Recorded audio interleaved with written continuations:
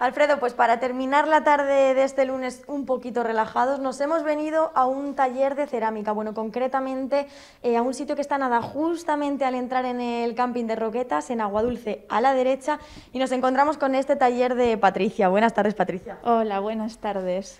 Bueno, nos has pillado que estábamos aquí, yo estaba aprendiendo a ver cómo se hace la cerámica, nunca la he hecho Alfredo, no sé si tú la has hecho, y Patricia nos va a enseñar un poquito. Hemos empezado con esto aquí, ¿no, Patricia? Hemos empezado con un poco de barro, que lo hemos puesto aquí, y esto lo hemos aplanado para conseguir una plancha de barro, que es esta plancha de barro. Y Porque hoy nos hemos propuesto hacer platos. Sí, nos vamos a hacer nuestra propia vajilla, nuestra propia vajilla maravillosa para poder luego comer de ella, que da muchísima más satisfacción comer de nuestras cosas después. Una vez que tenemos el plato, hacemos un churro, que seguro que todos sabemos hacer un churro, y se lo ponemos alrededor, para conseguir esto. Una vez que conseguimos esto, lo pintamos y la diferencia con mi taller es que al final os lo meto todo en un horno cerámico para tener un resultado profesional. Para una vez que le tengamos el color y el esmalte, nos queda esto. Y ya tenemos ahí nuestro plato. Ah, ¿ves qué color más bonito? Y esto es el resultado. De esto podéis comer, podéis utilizarlo, meterlo en lavavajillas. A lo que me refiero es que la gente viene aquí, hace sus cosas, pero luego se lo llevan como si fuesen profesionales para poderlo utilizar. Claro que sí. Además, en una de las peculiaridades me contabas, Patricia, que tú no haces talleres estrictamente, es decir, que te amoldas un poquito a lo que te va pidiendo la gente. Me amoldo a la gente. Yo simplemente ofrezco un espacio creativo, un espacio para poder hacer lo que queráis. Si queréis venir en familia, si queréis venir solas, si queréis venir solos, si queréis hacer una quedada de amigos, es para, para sacar eso que tenéis vosotros dentro que, que nunca tenéis la oportunidad de poderlo hacer. Y es lo que a mí me gusta, enseñaros a conseguir todos vuestros proyectos. ¿Qué aporta la cerámica estar aquí un ratito con esto? Mucho relajo, mucho relajo, mucha paz, mucha tranquilidad. Es como un ratito para ti misma, pero que luego tienes algo que te va a recordar siempre ese, ese rato.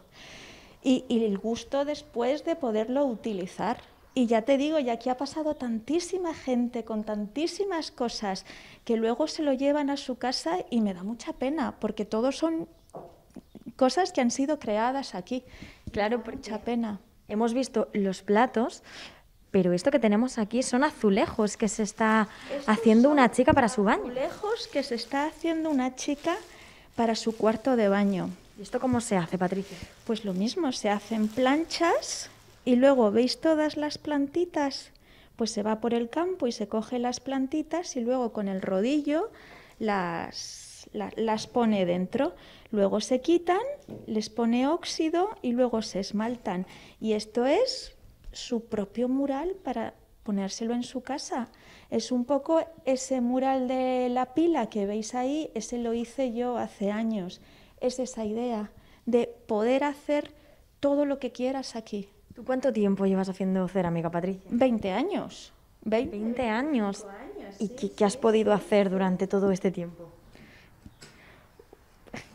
De todo. De todo y marear la perdiz mucho y, y, pelear mucho y llevarme muchas ilusiones, desilusiones y, y, de todo, pero que aquí seguimos y la cerámica es algo que te atrapa y realmente es algo que te sientes apasionado hacia ello. Además, me decías fuera de cámaras que muchas veces las mamis vienen con sus peques sí. y al final se acaban quedando ellas y les gusta hasta más. Sí, Siempre las mamás vienen con los peques a hacer talleres en familia con los niños y terminan quedándose. O sea, luego pidiendo talleres para ellas solas. Porque los niños, pues mamá, ¿qué esto? Y necesitamos ese tiempo para nosotras mismas y poder, lo que estoy diciendo, sacar nuestras, nuestro arte. Claro que sí, o sea que tú vienes aquí, empiezas con una cosita y al final lo que me decías, te enganchas, acabas haciendo de todo y te empiezas a hacer tus lámparas, tus jarrones. Ahí veis la cabeza esa fantástica que se ha hecho una chica para hacerse un jarrón. Vienen mamás con niños y se hacen las huchas las vajillas, estos son para los, me dijo que es para hacerse sus mezclas de pintura con los tres colores primarios, murales de la mamá, del hermano.